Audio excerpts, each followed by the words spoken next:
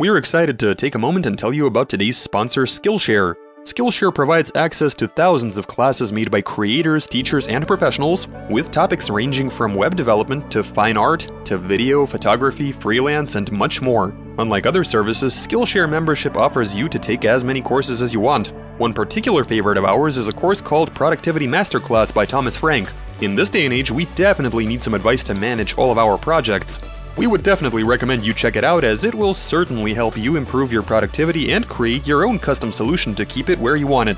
So if you're ready to start learning more about how to keep yourself productive or eager to learn basically anything, here's your chance. The first thousand people to use the link in the description will get a free trial of Skillshare Premium membership, and after that it's only around $10 a month. Thanks again to today's sponsor Skillshare, and now let's get back to the video. Hey there fellows! We've got an interesting one in store for you today. By popular request. So a few episodes back, we made a transparent engine with a see-through valve cover. That allowed us to see the inner workings and the oil splashing around. It was pretty cool. And after that, we got so many new suggestions. It's my understanding that people are curious to see how a differential works, a rear axle. So what better reason for us to make a transparent cover, fill the diff with some oil, fire up the car, put it into gear and take a gander. I mean, who even knows how it's gonna behave? Hopefully that cover doesn't pop off. But I digress. We know what to do. It's all rather simple, and I am super curious. So let's make that transparent cover, put this whole thing together, and do some testing. Let's do this. Observing frozen oil underneath a transparent differential cover. Translation and voiceover by BMI Russian.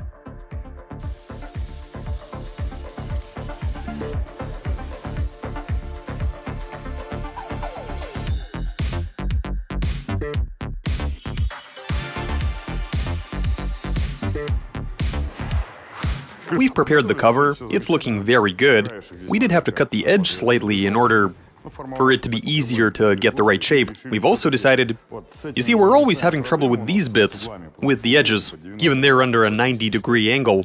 See how sharp these are? This means we need to drill some holes in order to get some vacuum happening so that the plastic wraps itself onto this piece as tightly as possible. If we don't do that, we'll again run into a situation, it'll assume a 30 to 45 degree angle, not getting all the way to where we need it. So we def have to drill them holes, a bunch of them, so that it gets sucked on and this shape is covered nice and tight.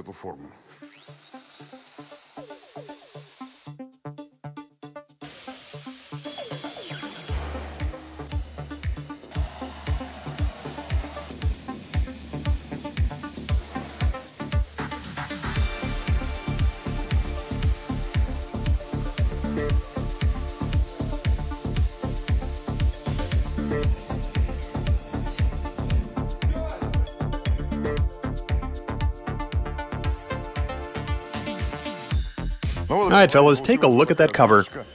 We were able to make it the proper shape. The angles weren't bang on right after contact, though we did drill a bunch of holes on the original piece, but we immediately proceeded to heat everything up. And after that the plastic did wrap itself tightly around the thing, so everything's good. Then we drilled some holes in the plastic piece, and now it's all a matter of installing it, sealing it up, waiting for everything to dry. Then we pour in the oil, and that's where the fun begins. Let's do this.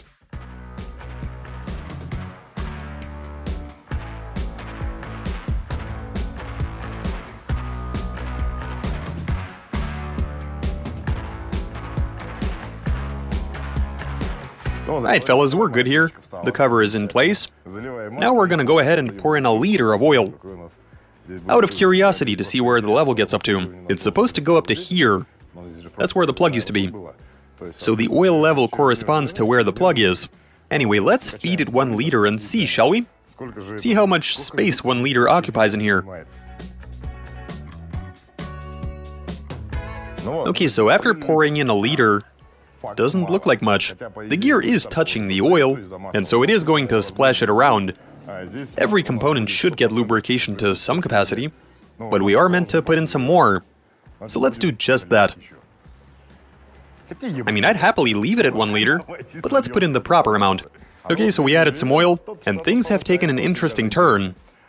Now if we go all the way up to here, that's actually in excess of 2 liters, and the repair book says it's 1.65. As for us, well, we brought it up to here. So there's plenty of oil in there. The planetary gear is lubricated, and quite sufficiently. It's dipped in there pretty deep. So we're not gonna put any more in there. We'll cover the filler hole, and it's time to start the car and see what's up. We should get a very clear view of what spins and what splashes. Okay, so we're slowly rotating it. We've got oil going into the planetary gear. We can see it dripping inside the diff. Isn't that great? The satellites are all gonna get nice and slippery.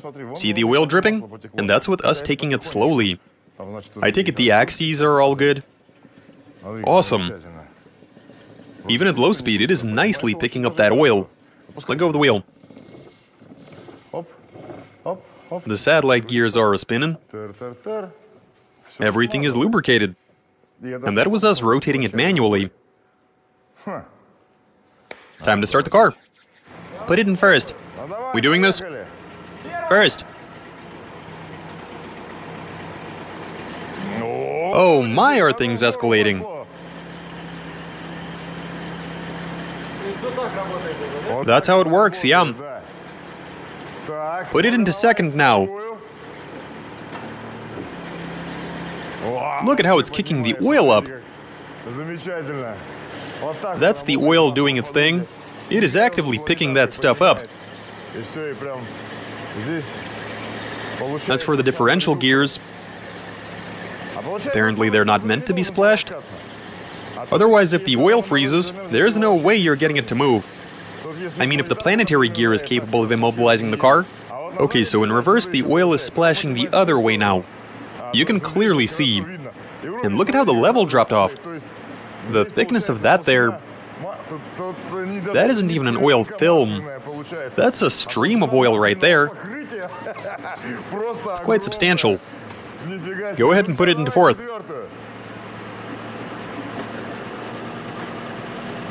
Why are the wheels spinning in different directions? Look at it go! That's fourth gear, with the engine literally turning at idle. Or maybe slightly higher than that.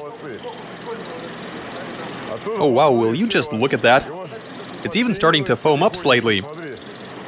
Yeah, you can see it splashing it like crazy. It appears to be ricocheting off the cover. So it basically brings it up to here, and then it drips down or... Give it some gas, William.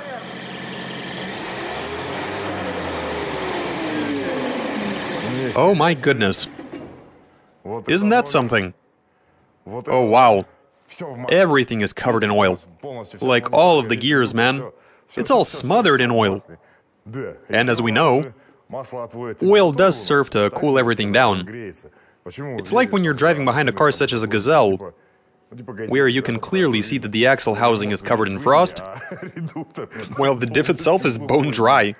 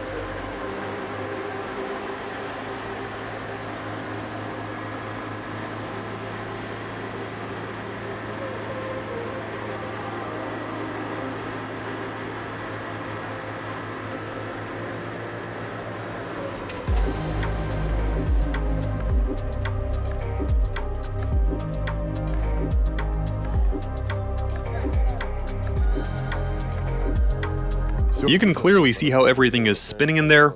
We were stopping each wheel and seeing the corresponding axle shafts also stop. Nice. Now it's time we take this outside. So here's the situation, fellas. We have brought the car outside.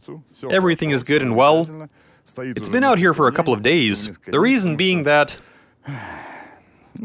we were hoping that the frosty weather would come back. But springtime is upon us, which means these days we've been seeing 0 to minus 2 centigrade, so the oil ain't really gonna freeze. Well, I mean, okay, we did see minus 12 this morning, it's minus 10 outside right now, but I'm pretty sure we won't see any extreme cold temperatures. But we most definitely need to see how the oil behaves. I mean, it's still pretty cold outside, so that oil has to have gotten at least a bit thicker. Given we're running regular mineral and not synthetic oil. If it were minus 27 to 30, then yeah, it would have been rock solid. Now, I'm guessing it's just slightly frozen. In any case, let's have a look and see how slightly frozen oil behaves. Let's do this. Well, yeah. It's quite obvious that the oil is slightly frozen. But even when Sergey is slowly rotating that wheel, it's still getting up there. This tells us that, yeah, it has become somewhat thicker. Yeah, that gear is actively picking it up. I can see the planetary gear covered in a thick layer, as if it weren't even oil but rather sour cream. Yep, it is frozen. Okay, let's fire up the engine.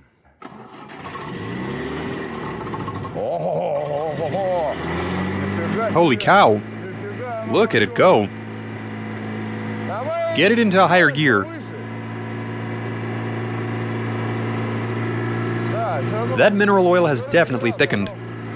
For sure. Quite noticeably. Look at how it's hesitating to flow. Still though, you can see it getting all whipped, and how it's foaming. So that thing basically works like a blender and infuses the oil with some air. And you've got plenty of oil making its way up.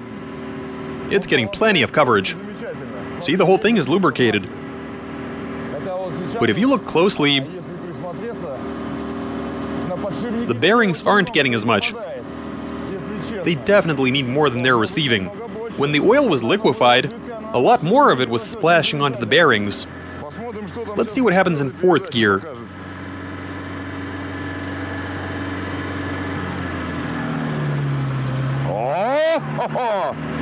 Okay, so now it's getting splashed around. Like chunks of it are flying around. And it's slow to drip back down. Yeah, it's frozen. You can see chunks of it falling down. Oh my. So that's how transmission oil behaves in the rear diff. The one on the right, so the left bearing is receiving some oil, while the one on the right is dry. How did that happen?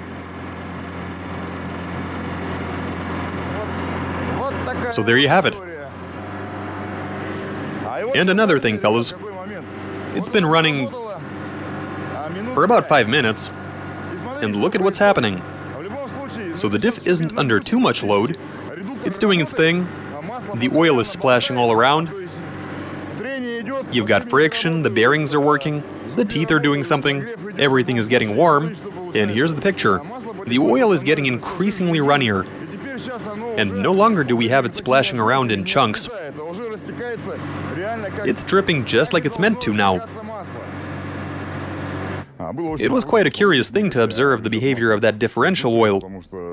I mean, these sorts of things, it's just a transparent cover, right? But when you see what's inside, honestly, it is quite a cool thing to look at.